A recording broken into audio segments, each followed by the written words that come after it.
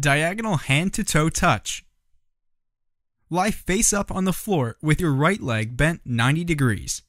Keep your left arm at your side and your right arm diagonally above your head. Without rounding your lower back, raise your left leg and right arm and have them meet in the middle of your body. Return to the starting position. Complete all your reps and then switch arms and legs and repeat.